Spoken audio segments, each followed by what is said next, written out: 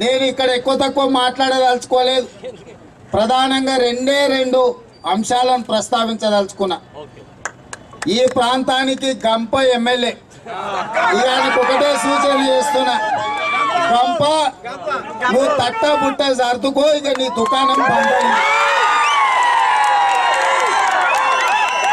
ఎందుకంటే ఒకప్పుడు పేదోని అన్నావు ఉండనిక ఇల్లు లేదన్నావు కాళ్ళు కడుపులో తలకాయ పెట్టినావు. వచ్చిన వాళ్ళందరూ కూడా నీ పేదరికాన్ని చూపించి నటించి ముసలి కన్నీరు గార్చి పైసల్ని మభ్య ప్రజల్ని మభ్యపెట్టినావు. గంప ఇక నువ్వు సిద్ధంగా తట్టా బుట్టా సర్దుకో.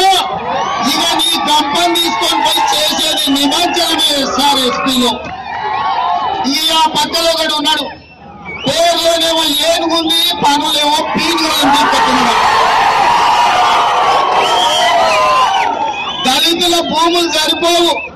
మిషన్ కాకతీయాల కమిషన్లు సరిపోవు. ప్రాజెక్టులలో పది పర్సెంట్ సరిపోదు. ఇంటింటికి నల్లాలో ప్లాస్టిక్ పైపుల కంపెనీలు సరిపోవు. ఇక ఏం చెప్పాలో అంటారా ఇక ఆయన గురించి? మీకు అందరికీ తెలుసు కదా. ఇవాళ ఏనుగు పీనుగలను తింటుంటే మనం చూసుకుంటే ఊరుకుందామా అని అడుగుతున్న ఎల్లారెడ్డి మిత్రులను కూడా.